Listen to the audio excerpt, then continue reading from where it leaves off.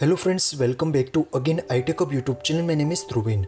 Here in this video, I will show you how to dual WhatsApp on Moto Edge 50 Fusion and 60 Fusion. Now this question is what is the process for that and how to dual WhatsApp on Moto Edge series. Now this question is what is the process for that. Now first of all open the settings app from the home screen. Here scroll down and here open the apps option. Inside the apps here find out the clone apps option available now please make sure tap on it. Here the WhatsApp options available now simple tap on the plus. This simple way to you can easily dual WhatsApp use on your Moto Edge 50 Fusion.